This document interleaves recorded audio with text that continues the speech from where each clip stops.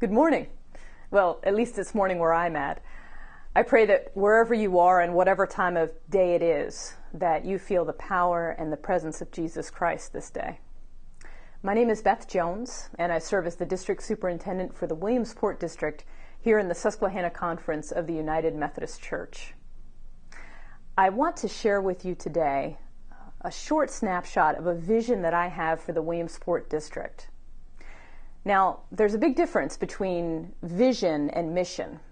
As I hope you know already, the mission of the United Methodist, the, yeah, the mission of the United Methodist Church is to connect people to Jesus Christ in order to change the world.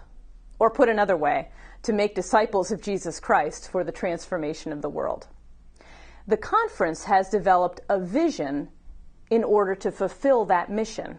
And that's what a vision is something that you craft so that the mission can be accomplished, the purpose for being. The vision of the conference is to raise up and equip vital leaders, to resource vital congregations and to lift up new places for new people, and also to promote our connectionalism so that we can be in ministry together. The vision that I have for the Williamsport district, my hope is will come alongside the vision of the conference. But we'll pull back a little bit from that to look at the vital basics that we need to address as disciples of Jesus Christ and also as people of the United Methodist Church to reset as we come together as two former districts into one district that's working together to connect with God and to be in ministry. The first part of this vision that I have for the Williamsport district is simply this to listen to God. Now, I, I know that sounds pretty basic, but it's amazing how we as leaders in the church have sometimes gotten away from our own connection to Jesus Christ in order to be in ministry. And instead, we have substituted the work for the institution for our vital connection to God. And so, my hope is that in this first part of the vision, we will learn again how to connect with God together. Some of our supportive fellowship is just going to be gathering together to talk about our spiritual disciplines and then to spend sometimes hours in silence. I know that's scary for pastors, and sometimes it's a challenge for me. But at the same time, I have found that by being able to listen well to God, even in the very beginning of the day, sometimes the direction of the day has changed because I've been listening to God's Spirit. And that's what I pray for our churches and our leaders here in the Williamsport District. That we will not just focus on prayer to God, but rather listening to God and learning how to center ourselves once again in the presence and the power of Jesus Christ.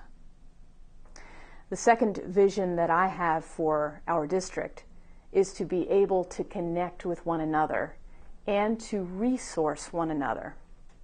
I believe that most of the resources that we need to be revitalized congregations in the Williamsport district exist right here on our district. Except that we have gotten the feeling that we need as local churches to be good at everything. Well, that's just not possible. But I'll bet you know, even today, the passion and the, the ministry that your local church is particularly good at. Maybe for you it's mission or youth ministry or connecting with uh, uh, local services in your in your own community. Whatever it is, I pray that you work hard on that and that you lift that up for your local church for other churches to see that if they want to go in that particular direction, you might be a resource for them. I also think it's important to focus on what our strengths are so that we don't feel like we're so diluted that we're not doing anything well.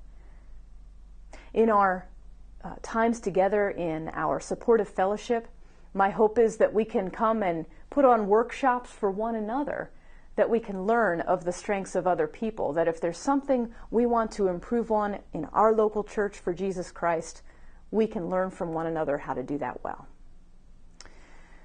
Thirdly, the vision that I have, or part of the vision that I have for the Williamsport district, is simply this that we need to be about changing the world for Jesus Christ.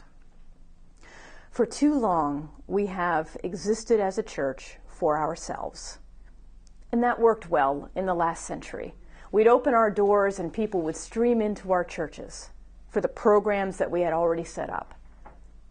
You know, and I know that it's not like that anymore. But we also know that there are people out there that are searching for a connection with God and they don't know how to get there. We as churches need to make our mission connecting those people with Jesus Christ, not existing for ourselves to make ourselves comfortable or to do fundraisers so that we can keep our building open. That's not why God has us here. And folks, in, in 100 years, all of us are going to be dead and with Jesus anyway. So why not take the risk to get out there, to listen to the people in our community and to say to them, what do you need from us? How can we be of help to you? And in doing so, gaining their trust so that they might see the work of Jesus Christ in us. I hope it's alive in you. Because if it is, people will see that and want that same real spiritual connection for themselves. And so we help each other do that. In our supportive fellowship over the next year, I hope that several times I will be able to locate folks to bring in to challenge us in what we do. Sometimes we need a word from the outside to challenge us. And so I pray that uh, you will come and be a part of that and be able to uh, learn for ourselves what God's plan for us outside the walls is all about. Folks, I'm excited to be in ministry with you here in the Williamsport District. And I pray God's blessing upon you as you continue to make yourself available for the work of Jesus Christ as together we transform the world.